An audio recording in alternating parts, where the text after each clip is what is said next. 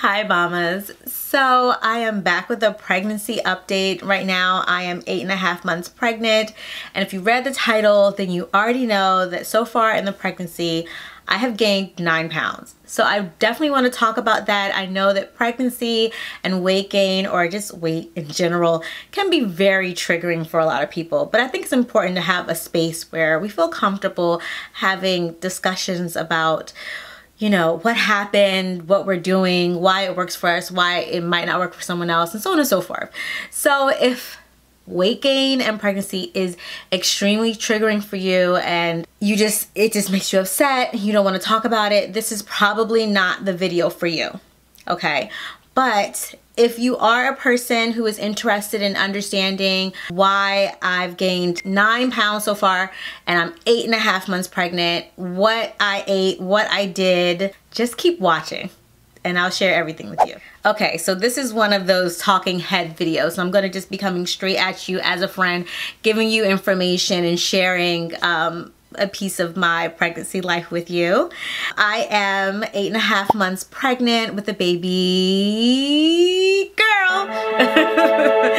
I'm very excited. This is my fourth child. So um, after she is born, I will have two boys and two girls, all roughly two years apart. Yes, I've been I've been pregnant for a long period of time um, over the last six, seven years. I want to talk about pregnancy and weight gain because that's actually how I started this channel, and it has actually been a very um, it's just been a very sensitive space for me learning so much because when I got pregnant with my first son, I was a really petite girl. I never had any weight issues, so I didn't know what to expect, but I certainly didn't expect for 53 pounds to come and play with me during the pregnancy. I'm getting all types of text messages. So, so because um, I had all that weight gain and I had gestational diabetes and gaining excessive weight can make that more of a problem. In my next pregnancy, I was very mindful of it and I'll leave some links to some of my old pregnancy videos called My Skinny Pregnancy Journey um, on here. But I was very adamant about controlling my weight um, and controlling what I put into my body so that I would not gain as much weight and I didn't. I gained about 22 pounds so less than half of what I gained the previous pregnancy. Um, during the third pregnancy I actually didn't care about what I ate and didn't work out and didn't implement any of my rules that I have for myself for my second pregnancy. And what happened? I gained 50 pounds again. So this really did make a huge difference. These eating habits and being mindful. And in this pregnancy, I implemented some of those rules and was able to gain so far nine pounds. Now, here's the difference between this pregnancy and all of my others. I was significantly overweight compared to my other pregnancies. My BMI was a 30.0, which according to the CDC is obese. And I was like, dang, I'm obese? That is such a strong word.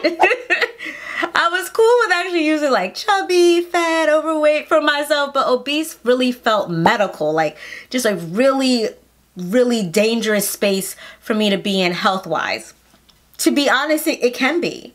So I definitely looked at the recommendations and talked to my doctor and she really suggested that I work out every day and just be mindful. Uh, they were pretty sure that I was going to get diabetes, gestational diabetes because of this. Um, but I was so, I'm telling you, I was so clear. I knew what I needed to do. I did not get gestational diabetes in my second pregnancy when I controlled what I ate and did. And I got gestational diabetes in the other two pregnancies where I did not. So this actually makes a significant change. And in this pregnancy, I did not get gestational diabetes. Really quick fun facts about gestational diabetes. It is something that a small percentage of women get. They are genetically predisposed to getting it. So my sister got gestational diabetes. Um, diabetes does run in my family. So I am more likely to gain that diagnosis of gestational diabetes when I am pregnant than, you know, some other women. However, that does not mean that I am genetically destined to get gestational diabetes because as I have shared with you, 50% of the time, I don't get it. And during that time, it's not by accident. It's not random. I literally gain less weight and do specific things that I'm about to share with you that cause me to gain the non-diagnosis and less weight. So let's actually just go ahead and get into that because I know this is probably the most important part. Diet plays the biggest part of avoiding excessive weight gain. For me, this could be different for everyone, so please check with your own dietitians, nutritionists, um, holistic doctors, midwives, whomever you trust to guide you personally to check and see where you're sensitive. For me, I'm sensitive when it comes to glucose, sugar. My body just doesn't know how to act when I am pregnant and introduced to high levels of sugar within each meal. And I'm also noticing non-pregnant as well. So I'll be implementing these type of rules for when I'm trying to lose weight postpartum.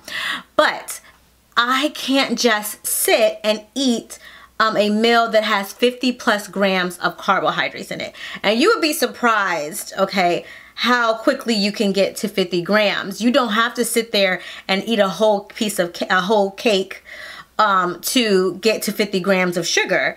A lot of these starches and sugars are hidden. Um, fruit as well. I can't just sit and eat two, three, four, five bananas like I'm the banana girl. I can't do that because my sugar will elevate and my body will store excessive fat and it's actually not healthy for me. So because I knew that, I paid very close attention to my macronutrients, my proteins, my fats, and my carbohydrates. I did not eliminate any of them. I don't believe in that. However, I did play close attention by putting all of my meals in an app called Lose It. The purpose of the app obviously is to lose weight. However, I'm pregnant. That's not my purpose. But my purpose was to see the percentage of carbohydrates, fats, and proteins that I had every single day. So I would put it in this app and it would tell me how many, you know, everything, the carbs, how many grams per meal. It gave me all the data I needed. And I remember, I think it was in the book, The Compound Effect, where they talked about tracking. It was either the compound effect or the um, atomic habits because those books about habit formations I, I love. I love those. So it talks about that. And the reality is it is very hard to make any decisions without any data. I like research. I like data. I like graphs. I like stats okay? And from there, I can make real decisions about what I need to do for my body. If I'm just guessing how many carbs I had or guessing what uh, percentage it might be, I am really shortchanging myself because honestly, I personally was guessing days that I went over, I would have guessed that I was okay and that I was fine when I really went way too far. So you have to be honest with yourself and if it takes tracking, which up front can sound very um, irritating and take away the experience of food, but if food turns from being your fuel to being your enemy, you do need to address that and you can't let your feelings around um, feel good comfort foods and the addiction that some foods have, you know, continue to help you make poor decisions for yourself. And that's plain and simple, right? So that's what I did. I stopped being, you know, soft on myself and started to really get the data. And now I'm kind of like tracking my food without even thinking about it. Um, it's just my phone is near me when I eat and I just plug it in and call it a day. It's really like a two second thing. And for me, I have learned that in this pregnancy, I have to start the day off mainly with protein and fat. So usually I eat about the same thing for breakfast and lunch every day, excluding the weekends. But um, I have this protein shake where I'm making sure that I really get in all of the proteins that I need. Like I'm hitting my target for the day as far as grams of protein.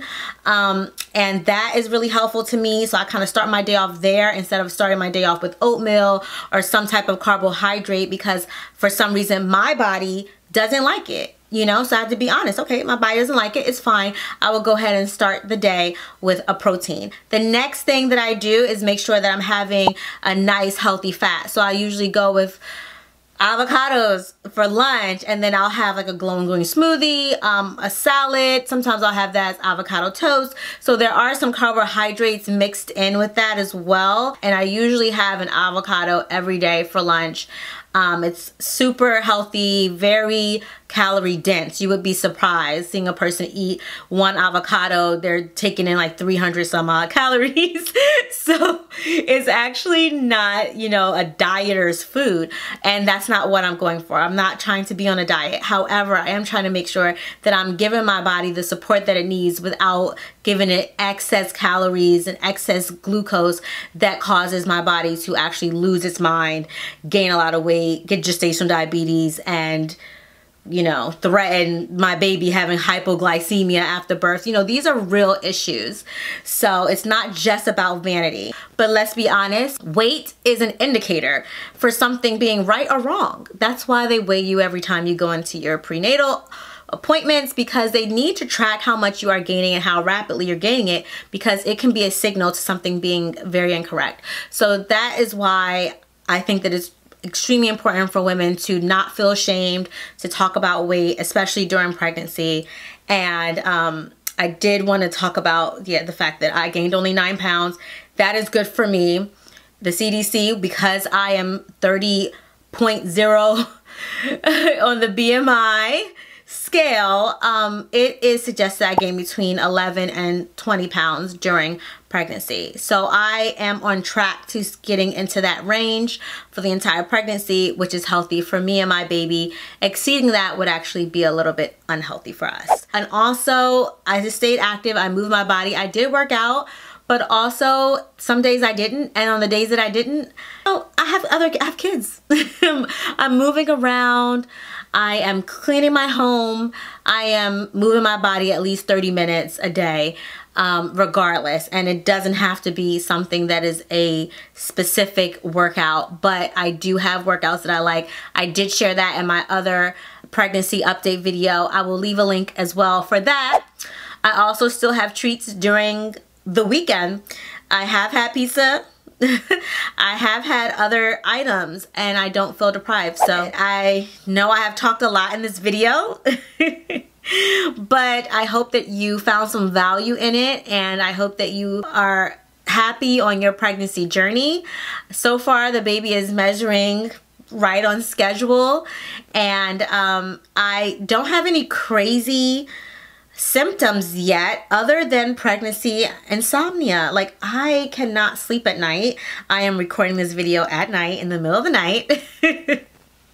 I can't sleep and that is probably my biggest issue. All right, well, thank you for watching this video. I need to cut it now. I know it's super long, but I will see you guys in the next video and we will be updating some more. And also I will be sharing with you guys what I'm teaching my four-year-old. So you get to see my entire thing that I like to teach her. So I hope you guys are going to enjoy those videos coming up soon. And if you aren't subscribed subscribe now. Lots more to come. Talk to you then. Bye